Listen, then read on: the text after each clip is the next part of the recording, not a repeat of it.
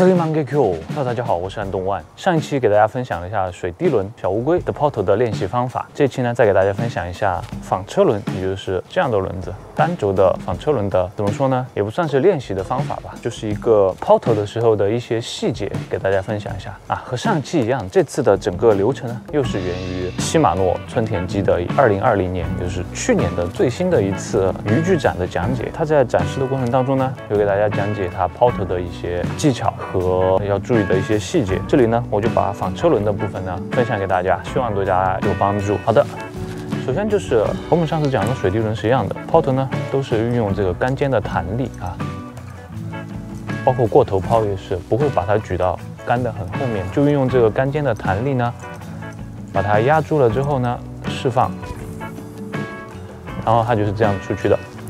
纺车轮和水滴轮不一样的地方就在于，因为它不太容易炸线，所以呢，我们尽量的弹道会追求一个直线，就是这样歘。因为这样水滴轮如果这样直线抛出去的话呢，非常容易炸线，抛出去就炸了。所以呢，一般我们会有一个弧度，但是纺车轮因为不太容易炸线，所以我们尽量追求一个直线把它抛出去，给它一个杆上有一个压力之后呢，直线把它抛出去。好的，一般抛投的比较好的人呢，就会是这样的。但是要做到这一点，到底需要一些什么样的细节呢？嗯。这里啊，就给大家分享一下。首先，很多人在压线的时候哈，到底压哪里？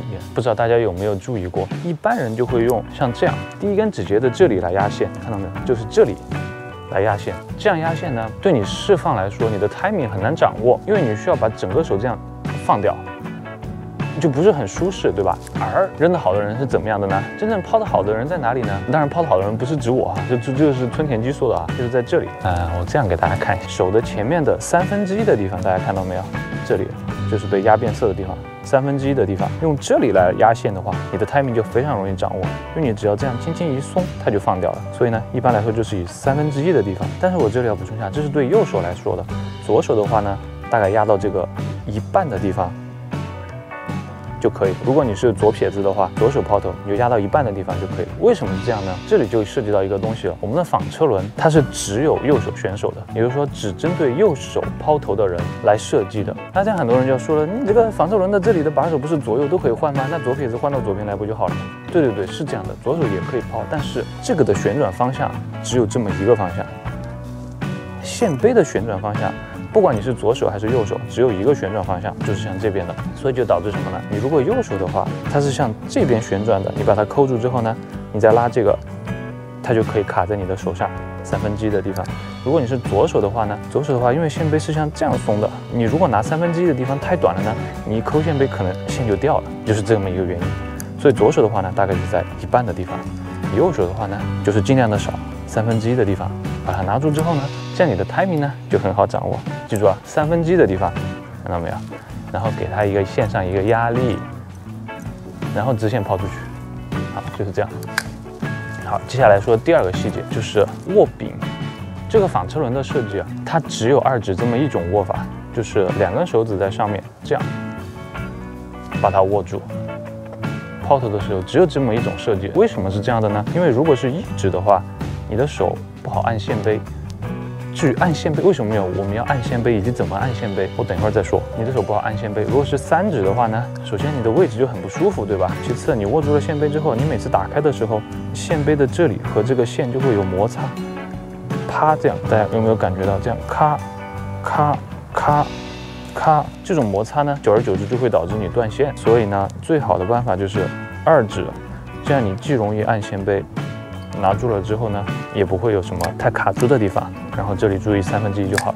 好了，下一个细节就是用手按线杯的这个细节。嗯，这个细节怎么做的呢？就是说，扔出去之后，在这个饵落地的时候，或者说在这个饵落水的时候，落水的一瞬间，用你的食指把这里的线按一下。这样做是为什么呢？如果你不按的话，这边的线呢？就会有很多在外面，比如说我再把它薅出来点，它就会耷拉在你的杆的下面。你不把它按住的话，这样在你下次收线杯的时候呢，它就不是很均匀的卷在线杯上面，可能下面的那些不是很规整的地方，你就一起卷进去了。下面的一些比较啊比较轻浮的部分，你就一起卷在线杯里面去了，这样就会导致你下一次抛投的时候，有可能纺车轮你都会扎线。就是这样的。所以为了我们要避免纺车轮都炸线的这种情况呢，我们就尽量再让它的线不要有太多的那种耷拉下来。抛投的时候，三分之一卡住，打开，抛出去，按一下，这样呢，你的线就不会有。太轻浮的搭在这里，对吧？你 下次卷的时候呢，它就会更紧密的收在你的线杯上面，避免炸线。最开始练习的时候呢，我们就只要求在落水的时候按一下就好了，这样你的线就不会搭下来。那当你进阶了之后，娴熟了之后呢，食指也可以当成一部分的刹车。但最开始练习的时候呢，你就不需要追求到那样，你就落水的时候把它按一下，避免这线耷拉下来就 OK 了。这样呢，可以很有效的避免纺车轮炸线的问题，对吧？就是这样。然后抛完了之后就是这样的一个姿势。第三步就是开始卷线，抛出去是这样的，然后收线的时候怎么样做呢？看你的前面就好了。所有的纺车轮的设计都是这样的，你打就是打开了之后呢，一旦开始卷，它就会自动收过来。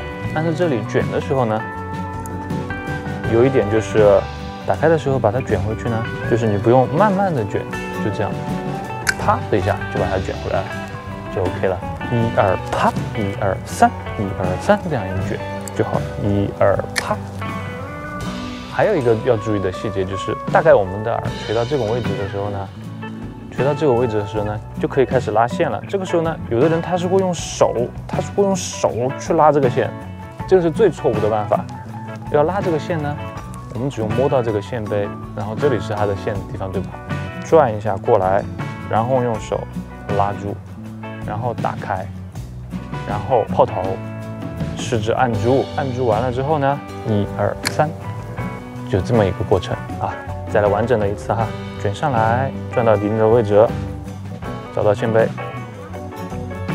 转过来，三分之一按住，打开，抛头，按，